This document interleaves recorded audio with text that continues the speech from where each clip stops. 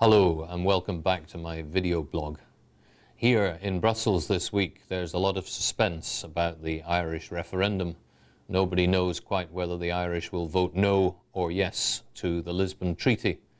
I think the attitude that we will have when we know the result can be summed up in the lines of the song by the Irish band U2, which goes, Some days are better than others. If the Irish do vote no, it will create a very serious problem for the European Union. Our major political work here this week has been on a thing called the Returns Directive.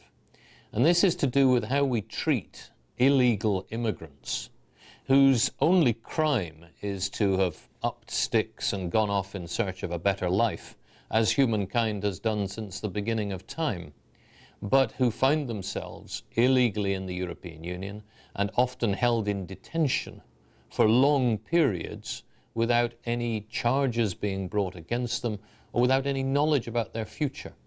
And for the first time, we seem to have reached a political agreement between a majority in the European Parliament and a majority of member states in the Council of Ministers on minimum standards to be applied in these cases. In other words, a maximum amount of time can, people can be held in detention and minimum standards for their treatment while they are held.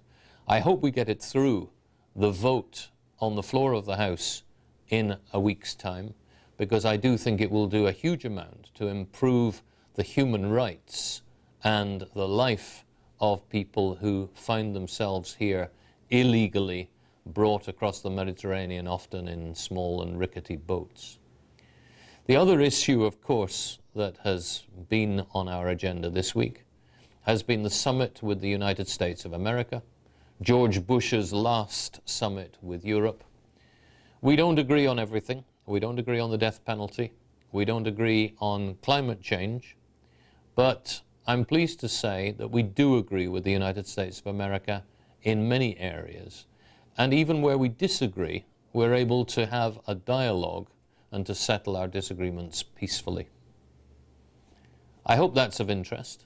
Do come back and visit my video blog again. If you have any questions, drop them to me on my website. I'll be very pleased to hear from you.